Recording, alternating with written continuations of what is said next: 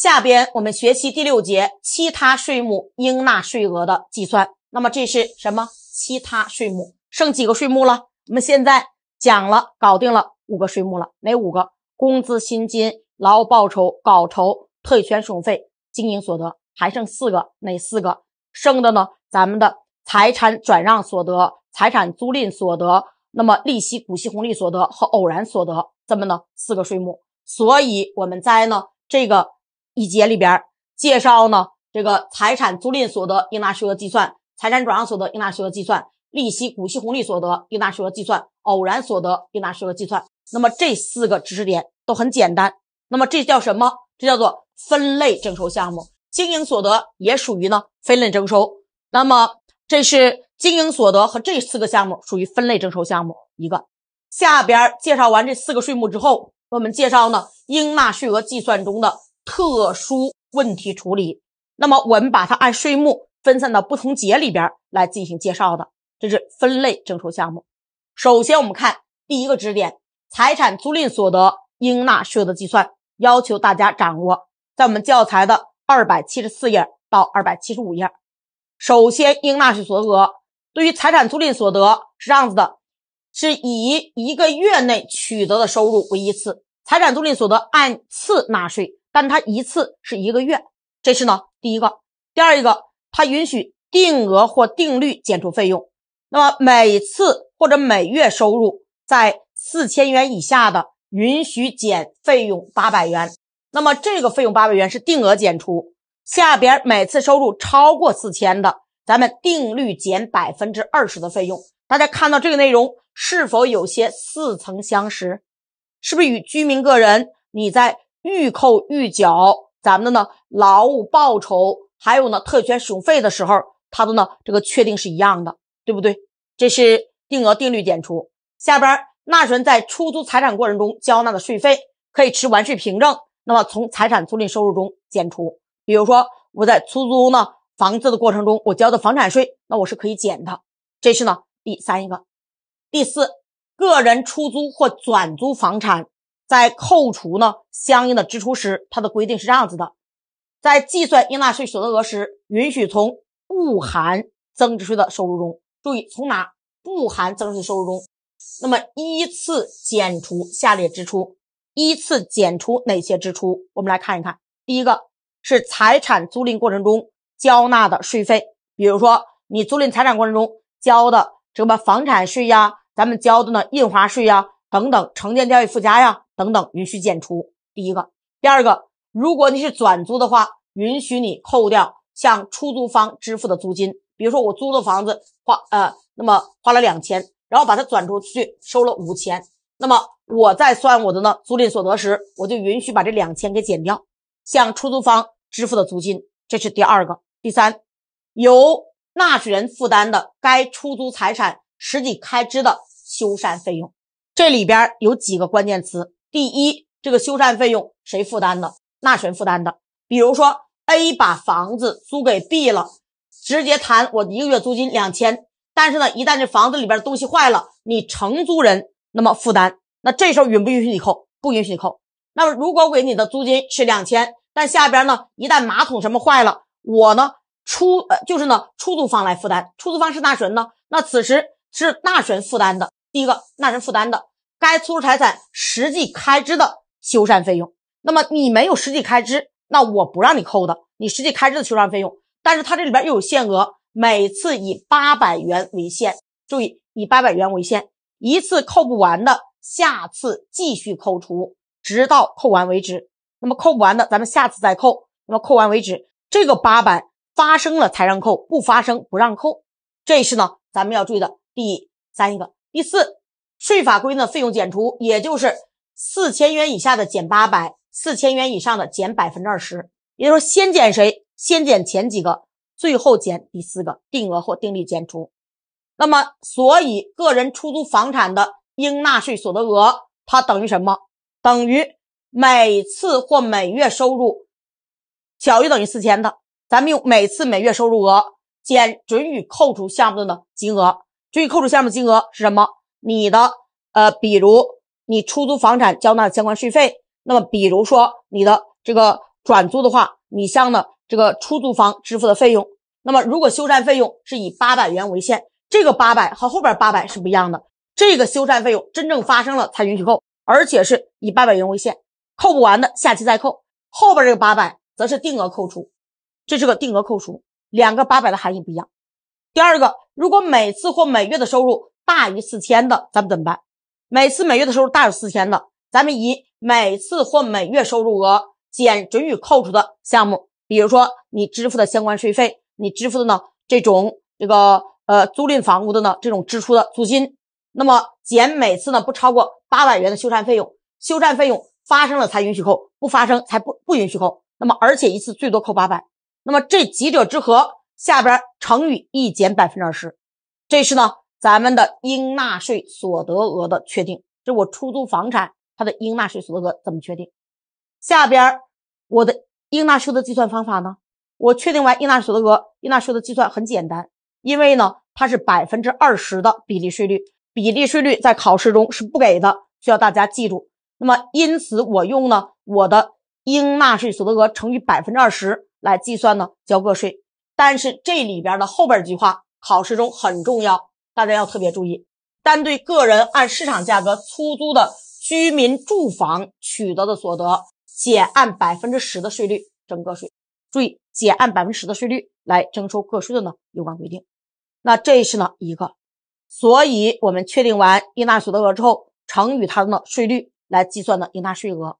这是呢这个财产租赁所得它的应纳税额计算。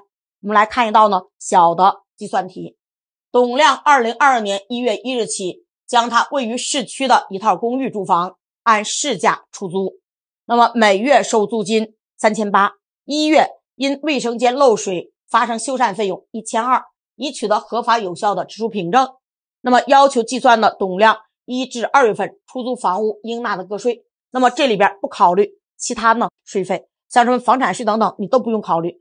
在咱们住块税法里边，它和税务师的考试不一样。住块税法他没让你在题目中没有给你显示出来，他要考虑其他相关税费，你就不管他了。那么税务师则是你自己要想着，这是两者的不同。那不考虑其他相关税费的话，你每月收租金三千八，这四千元以下，所以咱们先是三千八减个什么？减一个修缮费，超过了八百了，咱们只能先扣八百。一月份三千八减八百，第一个八百是修缮费，然后第二个八百是定额扣除。一定要注意啊！第一个八百是修缮费，第二个八百是定额扣除。那么得到了，这是两千二，适用的税率，出租住房百分之十的适用税率。这一月份交的个税，二月份三千八的租金减四百，因为我修缮费一共一千二，上个月减了八百了，所以这个月就剩四百了，因此我减四百，这是四百元的修缮费，再减那么八百元的定额扣除，得到应纳所得额。得到应纳所得额之后，是用百分之十的税率来计算的交个税，计算出应纳个税四百八十元。这是呢我们所介绍的财产租赁所得应纳税额的呢计算，这咱们的呢第一个知识点。对于呢个人出租财产，它的呢税务处理，我们做一个简单的总结，把我们从头到尾学的呢税收来做个总结，有的内容还没学呢。我们先做总结。第一个，增值税。增值税我们在第二章中讲过，个人出租住房，那么应该减按百分之一点五的税率来征收个税。这是个人出租房按百分之五的征收率减按百分之一点五计算缴纳增值税。这是呢第一个。第二个，城建教育附加，咱们呢应该是按你交纳的增值税交城建教育附加。那么对于个人来讲，你是小规模纳税人，教育费附加减征百分之五十。那有减征百分之五十的规定的。第二一个，第三，房产税，个人出租住房按百分之四的税率征收房产税。注意百分之几？我们后边讲房产税，大家会看到，那么你房屋租赁是按百分之十二交房产税，但是呢，出租住房减按百分之四的税率征收房产税。这是第三一个。第四，个人所得税，那么常规的税率是百分之二十，但对个人出租住房取得所得减按百分之十的税率。来征收呢个税，这是第四。那么对于呢这个财产租赁，大家呢要注意，在题目中如果提示你考虑相关税费，你考虑；那么如果没提示你不考虑，这是呢我们对于财产租赁所得它的呢税务处理。这是第一个呢知识点。第二个知识点，财产转让所得应纳税的计算，这在我们教材的二百七十五页到二百八十页。对于呢财产转让来讲，它一般情况下以财产转让收入减财产的原值和合理税费，个人所得税减原值，企业所得税减净值。这大家呢要注意的是用收入总额减财产原值和合理税费后的余额。做应纳税所得额，然后适用的税率百分之二十，这是减财产原值。这一般情况下应纳税额计算。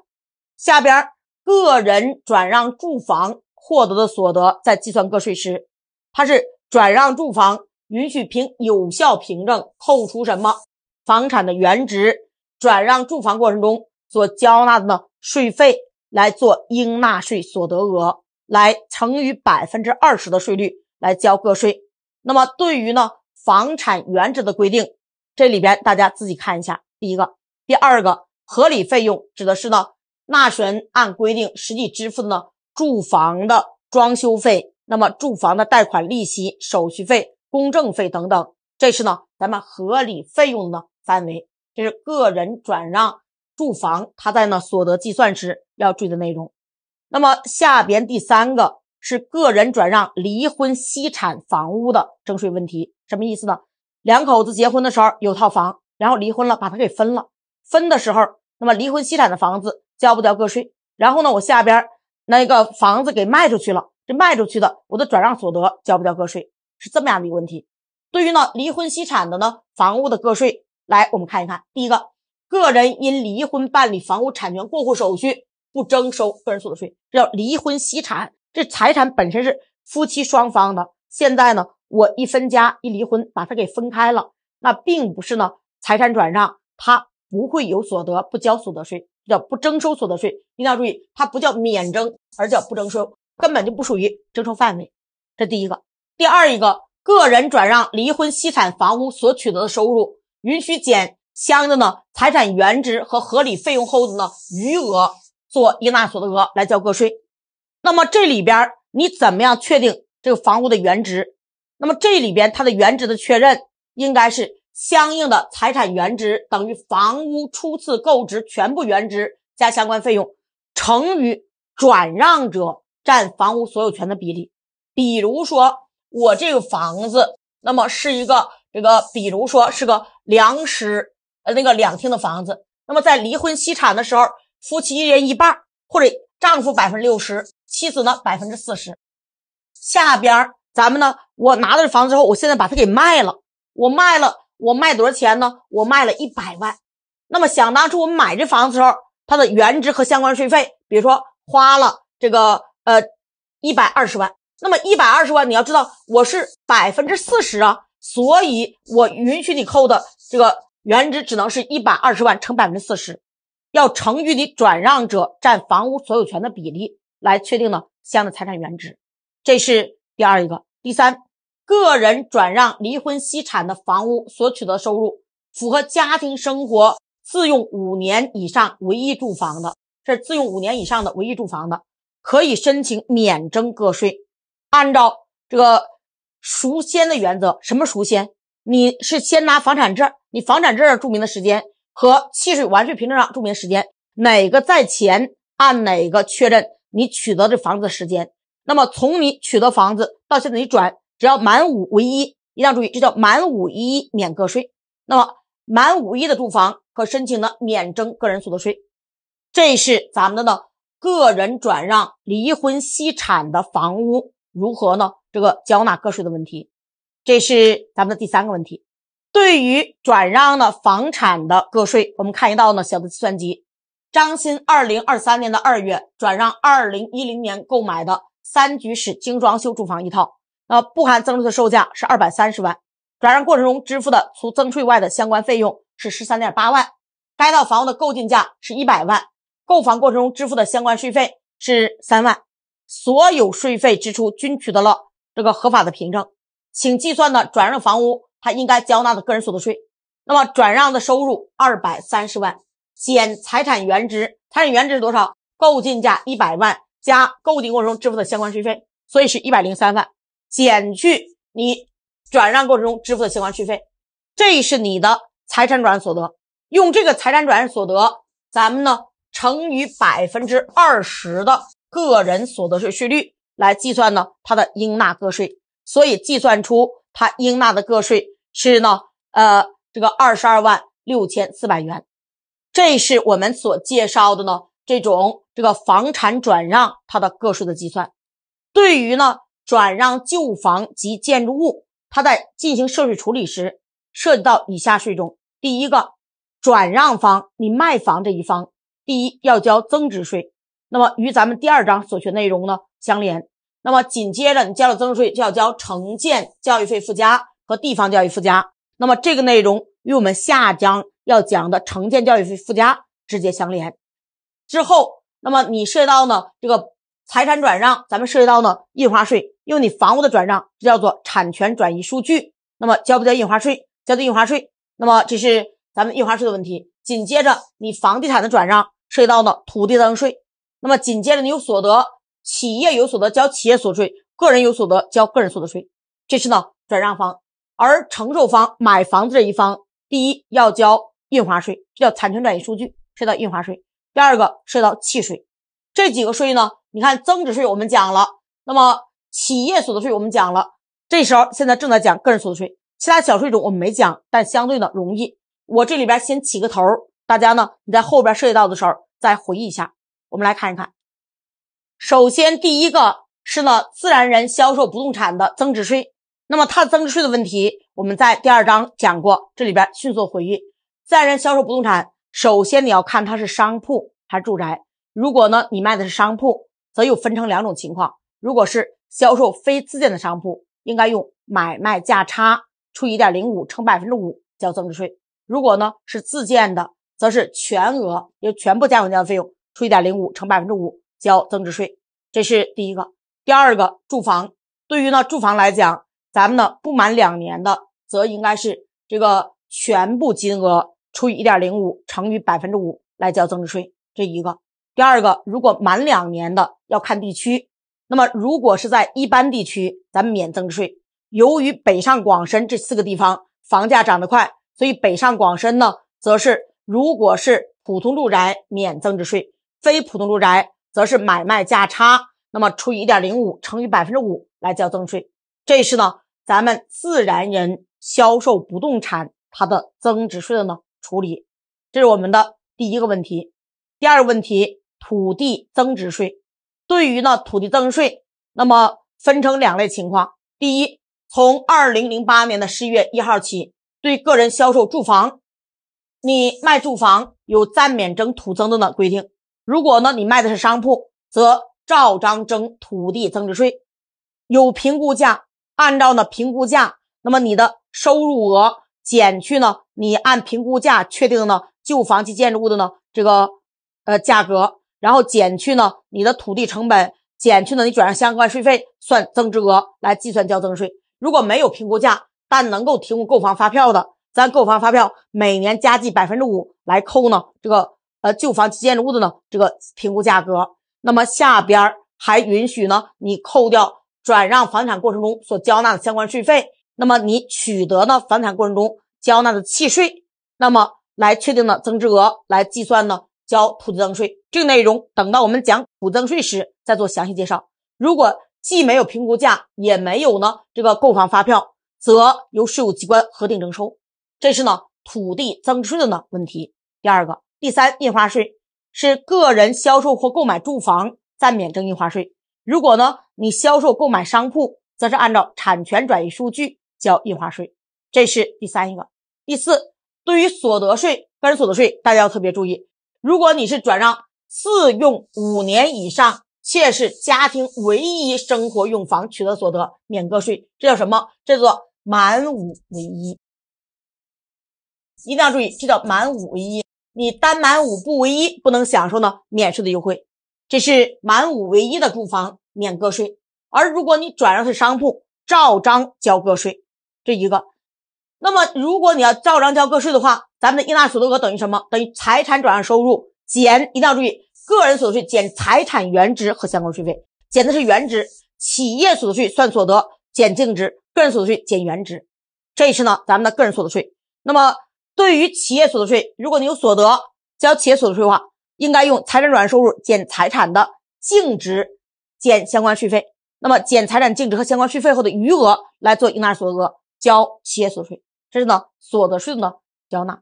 下边买房一方要交契税，那么对于呢契税来讲，是以不含增税的成交价做契税的呢计税依据。这是第一个。那么第二一个，在契税中我们要注意，你购买首套房和二套房，二套房叫改善性住房，它的契税有优惠税率。我们在讲契税的时候，再跟大家来讲。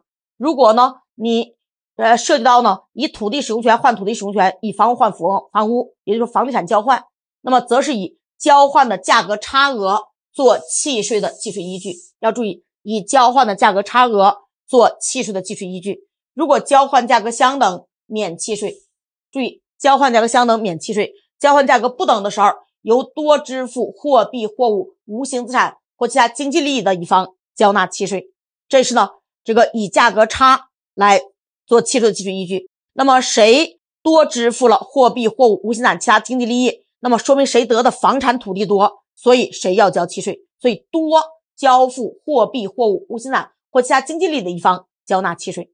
这是呢，承受方。要涉及到交纳契税的问题，这是财产转让所得中房产转让所得它的呢呃销售方、购买方，也就是承受方它的税款的交纳问题，这是我们所介绍的第二个问题。第三个问题，个人转让股权应纳税额的计算，股权也属于你的财产，所以呢，它也是按照财产转让所得来交个税。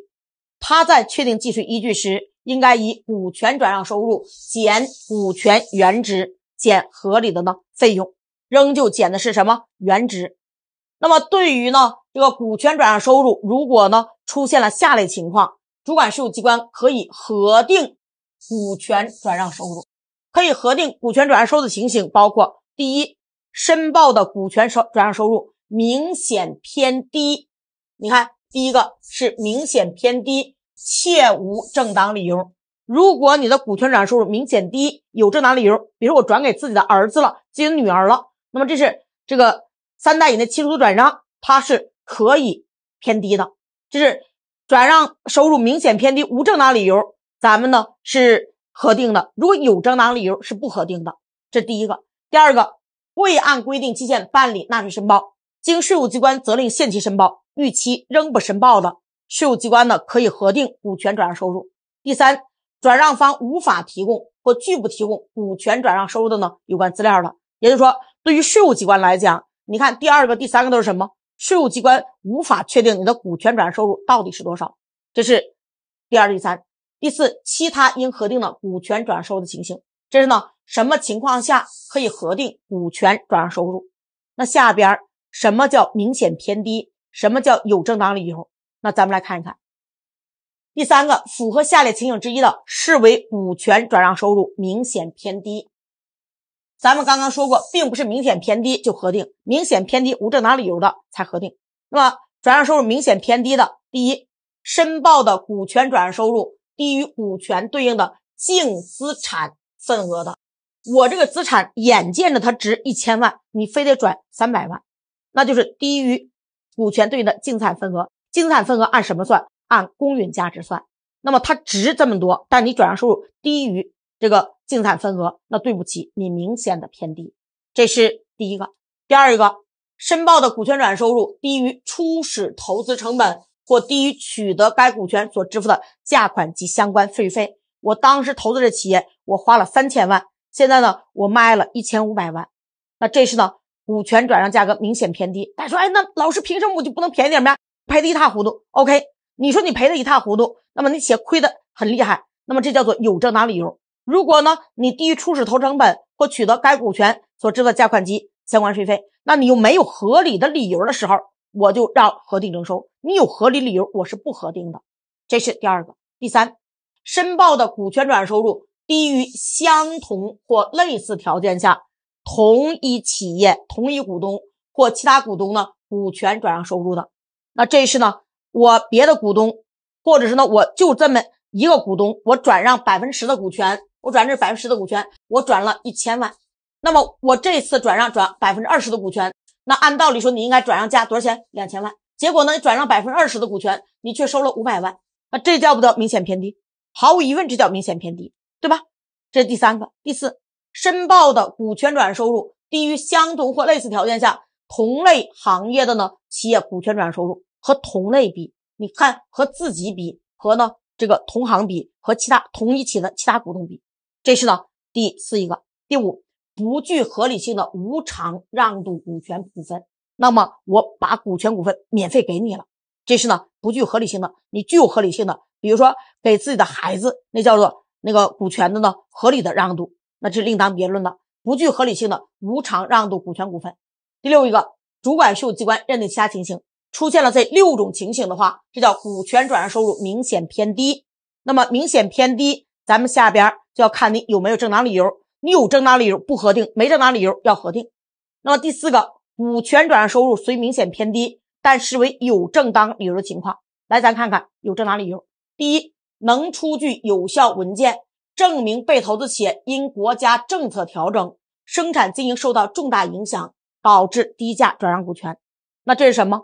这是呢？你由于这个政策，比如说国家要关停小煤窑、小水电，那下边呢，你生产经营受到重创了，我低价转让，叫做有正当理由。第一个，第二个，那么什么？三代以内的以及抚养人、赡养人的转让，来看一看，继承。第一个，继承。